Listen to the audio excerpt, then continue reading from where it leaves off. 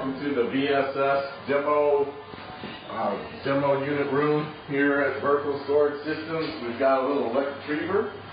Um, we're playing with FastPick OP. We like to demo and let the customers touch it here. Uh, we have it loaded, packaged. You can see a list of the parts. Um, we're going to do a manual pick right now. Come over here to the storage, come down, do a pick. This is the Kardex Remstar Shuttle XP brochure in the quantity of one. You can see the locations partitioned for the, we've got literature in these smaller locations and some of the bigger bins are for uh, Flexcon uh, insert samples, things of that nature. But this is all my Kardex Remstar brochure. So there's the there's the part we're picking. Because, of course, I'm going to actually cancel it out.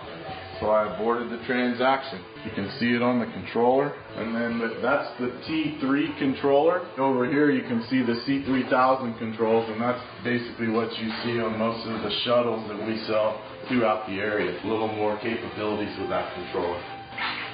We'll come back and give you another show on CSV file transfer and some other things.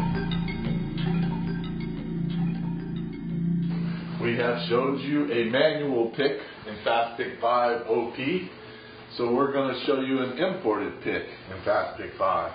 We're going to open up FastPick. Uh, you'll see a screen such as this. We're going to import our list, which you can see we're picking paper towels. Open that. We can see that we imported the list with zero errors. Close out this screen. Now you have your queue with the pick in it highlight it, hit process. You're driving the machine. You can see the bins configured for that shell. You can see the T3 converter showing the part. Picking our part, confirm it, and you are done